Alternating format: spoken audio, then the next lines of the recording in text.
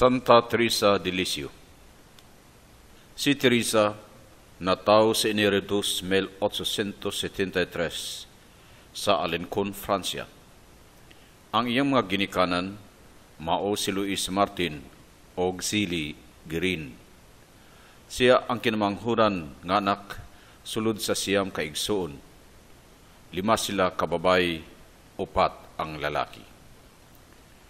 Ang iyang tatay, sundalo. Sakop sa army ni Napoleon. Apan, mananalsal usab siya og uro. Ang iyang inahan, sulundon nga pagkainahan. May kinabuhing Diyos nun, sama siyang bana.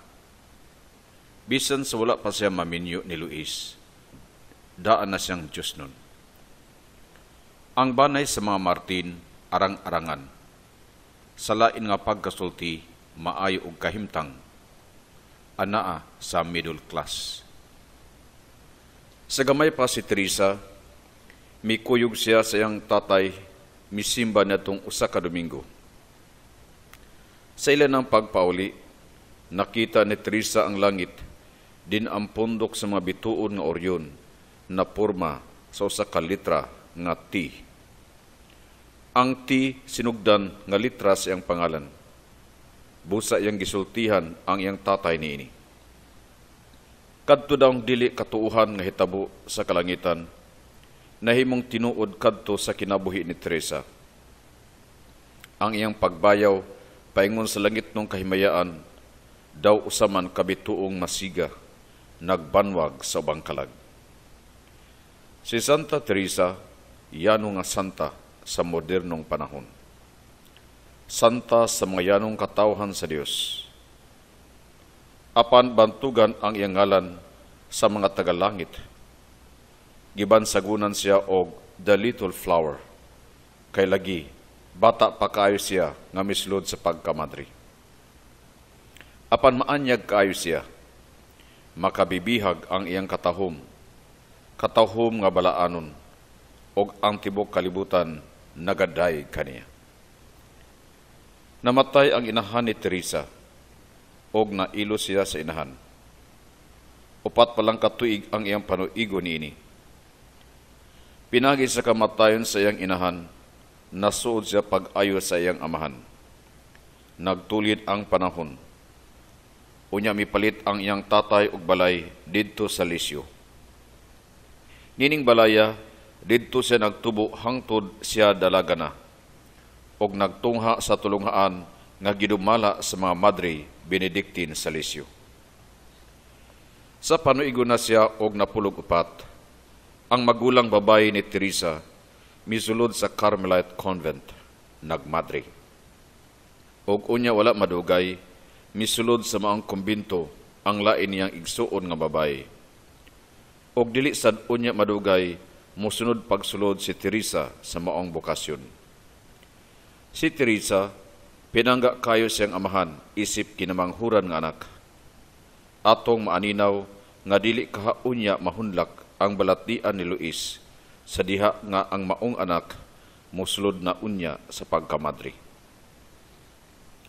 Wala madugay, misulod si Teresa sa kumbento aron magmadri apan wala siya dawata. Ang Madre Superiora o ang Obispo mibabag kaniya tungod sa iyang pagkabata pa sa panuigon. Malipayo ni ini si Luis nga wala dawata si Teresa kay kon mahimo palang unta magpabili na lang si Teresa sa panimalay. Apan ang batanong Teresa matinud-anon kayo sa iyang tumong bisan ang obispo ug ang superiora mibabag kaniya. Usa niya na kahigayon, mikuyog si Teresa sa pilgrimahi. Og samtang atwa siya sa Roma, yang ipakikkitaan si Santo Papa Leo XIII aron paghangyo sa Papa nga siya dawaton sa Carmelite Convent. Ubos iyang mainitong paringkamot, gidawat siya sa Papa. Ang iyang panuigo ni ini, napulo og lima pa lamang ang halandumong adlaw sa iyang pagdawat o pagsulod sa kumbento sa Carmelet Novitiate sa Lisio, Abril 9, 1888. Isip usa na kamadri, ang kinabuhi ni Teresa sulod sa Carmel, dili baya sayon.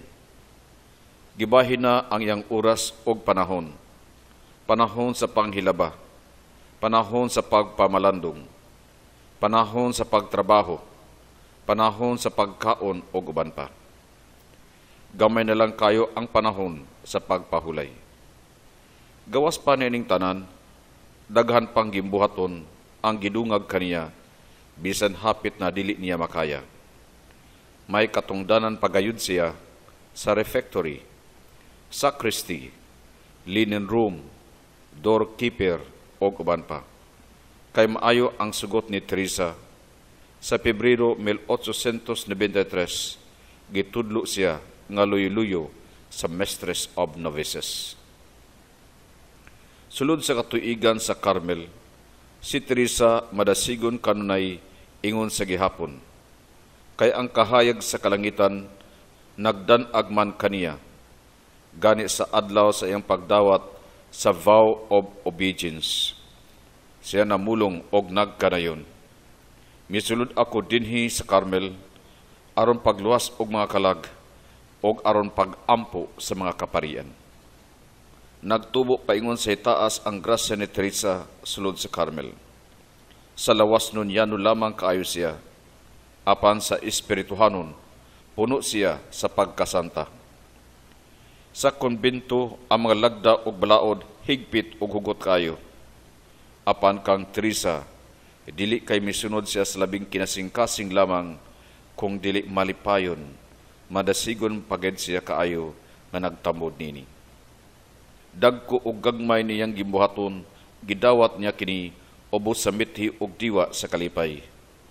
Sama so sa kabata nga gamay nagsampit kanunay ni tatay og ni nanay bisan suliran nga gamay.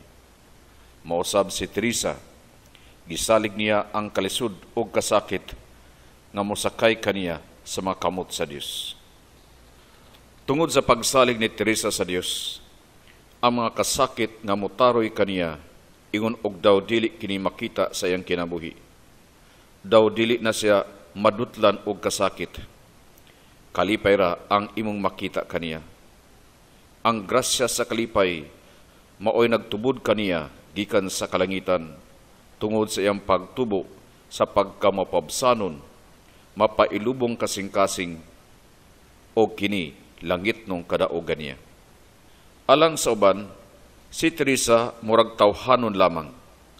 Kay lagi siya tawaon, agik-ikon, og mapahiyumon.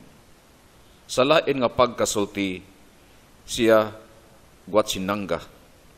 May gasa sa agik-ik, agik-ik, nga makadani sa uban, pag agik-ik, agik-ik, uban kaniya. Og mauman bitaw, nga bisag kapoy siya, murag wala lang gihapon kapuya, tungod sa agik-ik agik-ik lamang taliwala sa kakapoy. Gani mao kini ang dungag nga nakapopular niya sa sulod sa kumbento. Kung dunay lipay-lipay sa mga madri, kung wala si Teresa, wala sila'y hustong kalipay. Kay makulangan sila sa agik-ik agik-ik ni Teresa. Busa mangandoy gayud ang tanan kaniya. Usa ka adlaw niya na ang batanong Teresa nagubo. Migula ang dugo siyang baba. Kini nagtugan nga doon na siya sakit sa lawas. Apan bisan pa niya na dawala lang kini tagda ni Teresa. Nagpadayon siya paghalad siyang panahon diha sa iyang katungdanan o gimbuhaton matag adlaw sulod sa kumbento. O wala madugay milubog na siya sa banig. Taas nga panahon ang pag-antos ni Teresa sa iyang balatian. Hangtod bukog na lang siya og panit.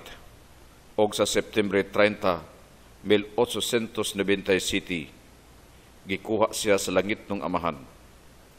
Namatay siya sa panuigong kawhaan og upat katuig og siyam kabulan.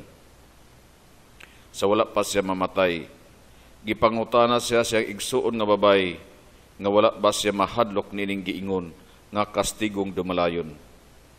Apan si Teresa mitubag og nagkanayon. Ang gagmayng bata walay labot nining kastigong dumalayon, akong buhaton sa langit alang sa kayuhan sa yuta.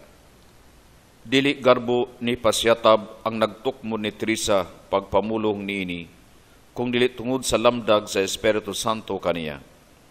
Sa lain nga higayon, siya namulong usab niining musunod. Bisan unsay akong pangayoon sa langit, ang Dios mo hatag kanako. Kay wala magid ako musunod sa akong kaugalingong kabubuton dinhi sa yuta. Sa Mayo 17, 1925, gikanunisar si Teresa sa simbahan nga katoliko. Ug yatagan siya og santos nga bansagon nga Therese of the Child Jesus og Therese of the Holy Face. Og siya gitakda usab nga patrona sa mga misyon. Dungag pa sa Mayo 3, 1944, gidasunan pagpasidungog si Santa Teresa ni Papa Pio XII. Isip ikaduha nga patron sa nasod sa Fransya. Talagsaon si Teresa nga pagkasanta sa modernong panahon. Ang kasakit, pailob, pag-antos, mao'y sekreto niya, mao'y sekreto niyang ang-ang, pagsaka, aron pagkabot sa kaymayaan sa langit. Dagko og bugat nga mga gimuhaton og kakuhan, nga iyang gipasan apan iya kining gipakasayon pinaagi sa pahiyom ug agik-ik agik-ik lamang sa lain nga pagkasulti lisod sundon ang sekreto ni Teresa pagkabot sa langit. Yano lamang kayo ang dalan sa iyang balaanong kadaugan. Kay ang pagtulunan og paagi sayon ra kaayo apan daw dili katuuhan. Kung mubasa lamang kita sa lakbit nga saysay sa iyang kinabuhi, kita malamdagan ang kayano diha sa pagpamulong og kakugi sa ngalan sa gugma. Mao'y bililhong butang alang sa atong langit nung kadaugan. Pananglitan sa atong kinabuhi mismo. Sa pagmata nato sa buntag, nangaji baka kita sa atong buntagong pagampo. Ato bang gihimo ang pagampo sa tibok banay pagpasalamat sa Dios samtang ana kita sa talad kananan. Kung kamo nagpuyo sa usa ka balay, ipon sa mga masamong og binalay, kung dunay mga disgusto kaninyo, magsiningkahay ba kamo o magtinubagay? O kaha mosunod ba kamo sa kang Teresa nga sekreto sa pagpailob o pagpabus, pinaagi sa pahiyom og agik-ik-agik-ik? kay alang kang Santa Teresa, ang dagkong butang o kasakit, gihimo niya nga walay bili o gihalad niya ang tanan sa Dios taliwala sa kalipay.